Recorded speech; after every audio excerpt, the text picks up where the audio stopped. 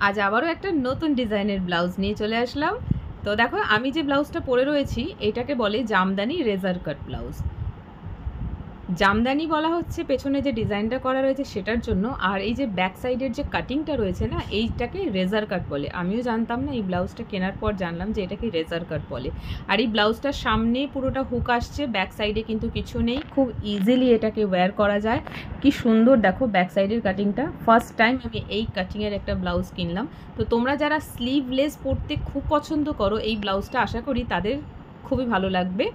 আর শাড়িটা তোমরা white red যে কোনো কালারেরই পরতে পারো। আমি আজকে হোয়াইট কালারের শাড়ি দিয়ে পরলাম। তো আমার মনে হচ্ছে এটা রেড কালারের শাড়ি দিয়ে পরলে বেশি গর্জেস লাগতো। আদারওয়াইজ হোয়াইটে কিন্তু খারাপ লাগছে না। তো তোমরা ব্লাউজটা দেখে বলো কেমন লাগল। এটা আমি মিশো থেকে কিনেছি। মাত্র চারশো এক টাকায়, চারশো তেরো টাকা দাম ছিল। টুয়েলভ রুপিস ডিসকাউন্ট হয়েছে। তো দেখে বলো তোমাদের কেমন লাগল আজকের এই ব্লাউজটা। টাটা!